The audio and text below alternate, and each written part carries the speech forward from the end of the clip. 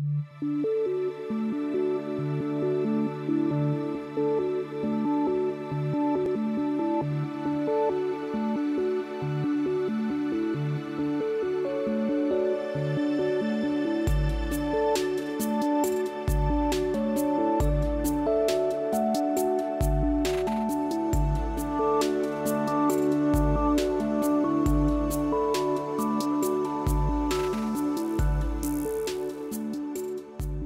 I think it's fair to say as well, if I change tack a little bit, it's fair to say that mm. most investors are aware of the and experiencing the difficulty of the unprecedented volatility and increased uncertainty that is being experienced in the markets right now. And I suppose this might be one of the answers to my next question. Dante, what drives an investor's decision to, to use a financial advisor? And conversely, what prevents them from using a financial advisor? Yeah, again, very good question. And, you know, I can only uh, two points here, I suppose. One is what the research tells us, and then also anecdotally what what our members are telling us. But um, some of the research that we've seen, in particular, I'll highlight um, this particular research, a report done by ASIC, um, which was uh, released uh, last year. Um, and it was effectively about what how investors uh, interact with financial advice. And and that report told us that about 41% of Australians uh, indicated they need advice. Um, but then when you looked at the barriers in terms of um, why they didn't get advice, some of it related, and, and the, the, number one item actually was cost. Actually, the perception of cost, whether it was perceived or not, the, the cost was seen as a barrier. Not understanding what advice or the advice process brings you, and therefore questioning what the value is. I think that was very much also up there. Uh, many people would think trust is that barrier, but in fact, it's not. It's quite low down uh, in in the in the list of things. Um, though it's still a concern. Of course, we want people to trust the process and therefore trust the financial advisor. But the actual barrier is cost.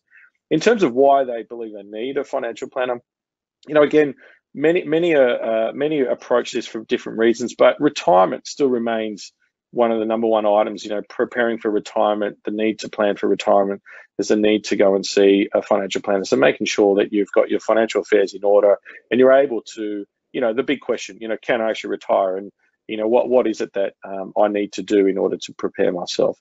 Um, the COVID-19 scenario has been quite interesting in that that's generated quite a large increase in uh, the call to access financial advice.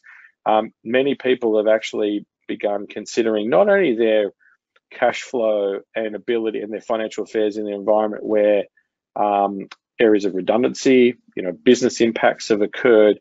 Uh, but you know, the issue of insurance has come up as well. So again, you know, with with COVID nineteen being a health, uh, uh, you know, a health crisis. Firstly, um, people wanting to ensure that well, if I get sick, you know, do I have coverage? Uh, what happens if you know, what if I do contract COVID nineteen and you know, and, and, and something happens to me? Um, will my family be looked after? Um, and so, you know, we are really seeing this conflict from uh, consumers who are, you know, especially in a scenario where they have reduced income in their household because of the COVID-19 due to redundancy or reduced work hours, that dilemma of deciding do you continue to pay your insurance premiums, um, you know, versus what other discretionary items you may be holding back on. And so the need for accessing advice uh, has, has been raised in that context for people wanting to sort out their affairs.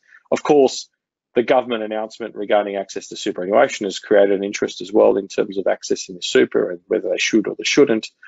Uh, but just generally speaking, people having a greater interest in their financial affairs, which we haven't seen before. And because before, you know, as I said, retirement, um, access to inheritance are sort of the you know main reasons why people, you know, investing uh, a pool of money that, that they have obtained for some reason has been a, a key driver to see a financial planner.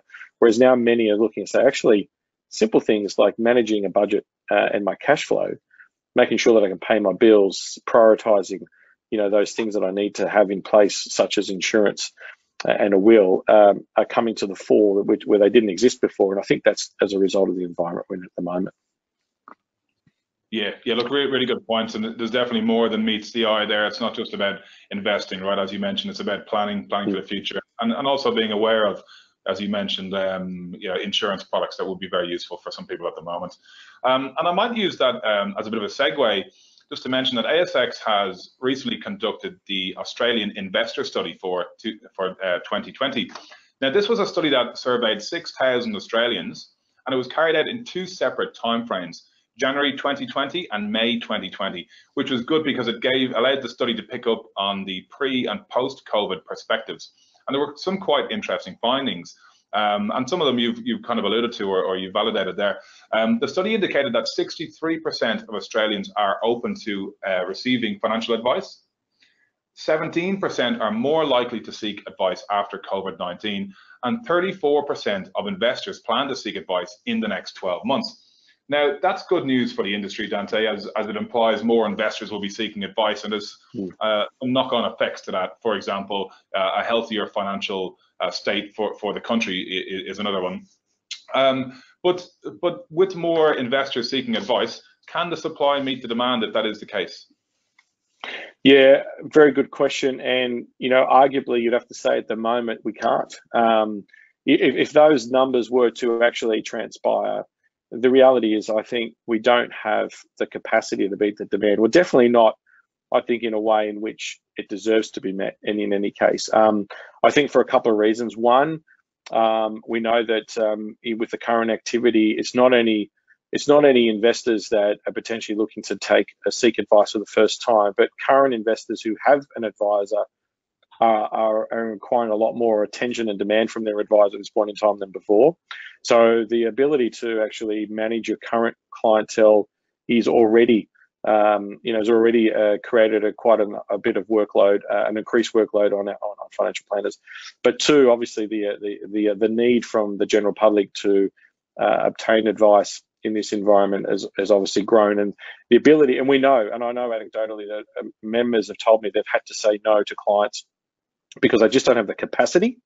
And then secondly, of course, some of those clients that are seeking the advice can't afford it um, uh, or aren't willing to pay what it truly costs to get the advice. And so we do have this issue where we don't have the, the, the supply to meet the demand, but also I don't think we have the, the, the, the enough of the models or, or models that are scalable enough to manage that uh, supply uh, that demand uh, in, a, in a in a manner that's affordable uh, or cost effective anyway. Um, and so that, that's, a, that's a true uh, a true concern. Um, and, uh, and and that's why you'll that's why you see what the government uh, and ASIC had to do in the environment was to provide regulatory relief to the sector in order for it to be able to encourage it to actually give advice and and and also enabled advisors to not have to produce you know the costly and lengthy statements of advice uh, as part of the process, but rather a record of advice um, and they were trying to, uh, you know, uh, provide opportunities for advisors to be able to, to give that advice uh, more quickly and simply to hopefully encourage them to do so at a, at a more cost-effective rate. Um, and so that was a need. So there had to be regulatory intervention in order to encourage it because the current model doesn't allow for that to occur. And that's a big problem and something that thankfully both the regulator, both the government and the government, and as well included that the opposition um, having having agreed that the cost of advice is a problem, accessing which leads to an issue of access, um, and so there is a problem there. Um, we don't know what the solution is at the moment, but there's acknowledgement of a problem, and there's a question now of how do we resolve that, because um, unfortunately. Um, you know, there are too many Australians who actually want and need advice who are not only able to access it.